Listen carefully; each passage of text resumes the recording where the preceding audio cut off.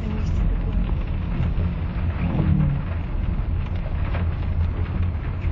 Вы приехали?